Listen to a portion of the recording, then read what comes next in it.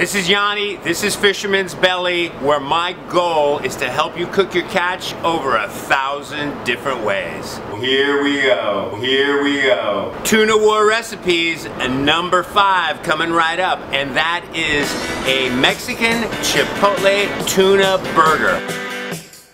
I've got the tuna patties on the grill right now and they are just incredible. Let me fill you in on what I've put inside these tuna patties.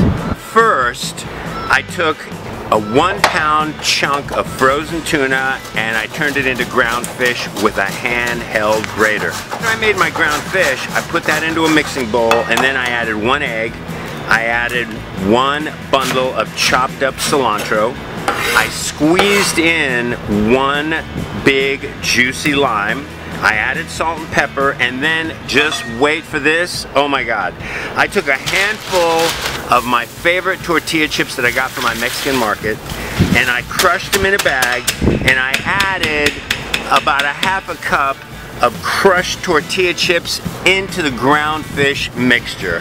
Oh my God, that's gonna add this beautiful salty bite and an unbelievable texture. I've mixed everything together, I formed up my patties, I put them in the refrigerator for a little less than an hour, and then I created my ketchup chipotle super secret mixture that's gonna go on these chipotle tuna burgers.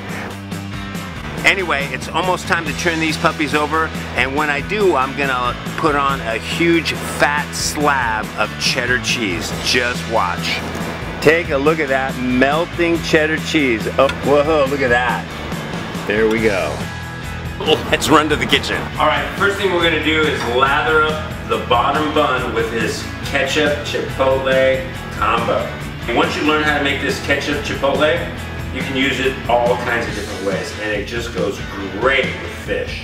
And I'm gonna add some, I've got, I've cut up some onions here.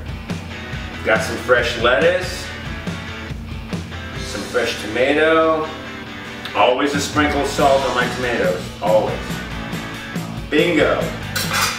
All right, and now another little surprise. Pickled jalapenos.